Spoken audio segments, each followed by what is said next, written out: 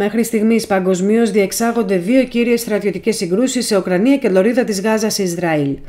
Ιδιαίτερα, ο πόλεμος μεταξύ Χαμάς Ισραήλ είναι ιδιαίτερα αυξημένης επικινδυνότητας, με τάσει να εξελιχθεί σε μεγάλης κλίμακας περιφερειακή σύγκρουση, αρχικά με τη συμμετοχή Χεσμολά Ιράν υπέρ της Χαμάς και των Ηνωμένων Πολιτειών υπέρ του Ισραήλ, ενώ εφόσον αυτό επισυμβεί είναι άγνωστη πορεία των μετέπειτα εξελίξεων.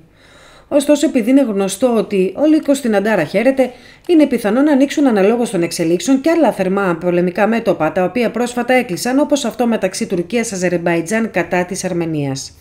Σύμφωνα με το Υπουργείο Άμυνας του Αζερμπαϊτζάν, μαχητικά αεροσκάφη F-16 της τουρκικής πολεμικής αεροπορίας έφτασαν σήμερα στο Αζερμπαϊτζάν για να συμμετάσχουν στις ασκήσεις Μουσταφά και Μάλατα Τουρκ 2023.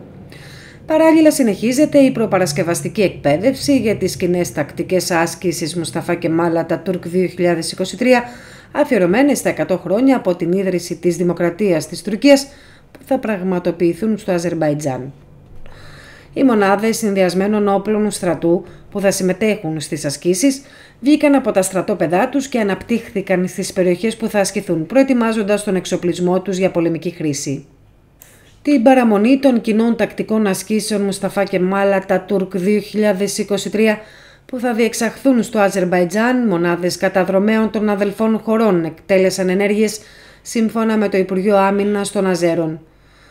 Οι καταδρομείς πραγματοποίησαν μια τακτική αναδιάταξη τη νύχτα υπό συνθήκες περιορισμένης ορατότητας, πραγματοποίησαν επίθεση και εξουδετέρωσαν την ομάδα σαμποτάζ του φανταστικού εχθρού στο σημείο ανάπτυξής τους. Μετά το στοπ των Ηνωμένων Πολιτείων σε Τουρκία Αζερμπαϊτζάν για στρατιωτική επιχείρηση κατά της Αρμενίας, σε συνέχεια αυτής της κατάληψης του Ναγκόρνο Καραμπάχ, με σκοπό πλέον την κατάληψη της νότιας επαρχίας αυτής Σιουνίκ, από όπου διέρχεται ο διάδρομος Ζανγκεζούρ, με τον οποίο θα ενώνεται εδαφικά Τουρκία και Ναχιτσεβάν με το Αζερμπαϊτζάν και εκείθεν μέσω Κασπίας θάλασσας με τις χώρες του Οργανισμού Τουρκικών Κρατών, ο Ερντογάν άλλαξε τακτική. Αποτέλεσμα είναι η Αρμενία λόγω των διεθνών εξελίξεων να μην συγκεντρώνει την προσοχή της διεθνούς κοινότητας στην παρούσα φάση και έτσι Ερντογάν και Αλίγεφ προβαίνουν σε μια κοινή προβολή στρατιωτικής ισχύως με την άσκηση Μουσταφά και Μάλατα Τούρκο 23 προκειμένου να πείσουν το Γερεβάν να δεχτεί τους όρους τους για τη διάνοιξη του διαδρόμου Ζάγκιζούρ.